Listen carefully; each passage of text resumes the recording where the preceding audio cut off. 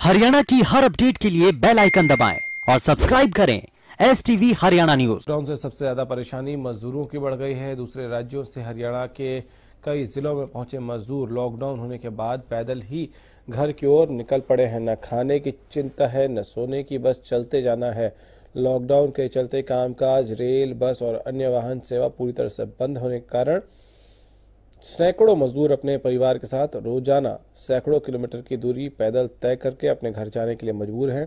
Hotel में भी ऐसे परिवार मजदूरों की संख्या काफ़ी नज़र आई जो पैदल अपने घर की ओर प्रस्थान कर रहे हैं। वहीं नेशनल हाईवे पर पैदल आने वाले मजदूरों की सेवा में शहर के सामाजिक संगठनों ने हाथ आगे बढ़ाया है। सामाजिक संगठनों के लोग हाईवे स्थित बंचारी से करमन बॉर्डर तक जगह जगह शिविर लगाकर पैदल आने वाले राहगीरों की खाने पीने की सामग्री वितरित कर रहे हैं ताकि वो भूखा न रह सके।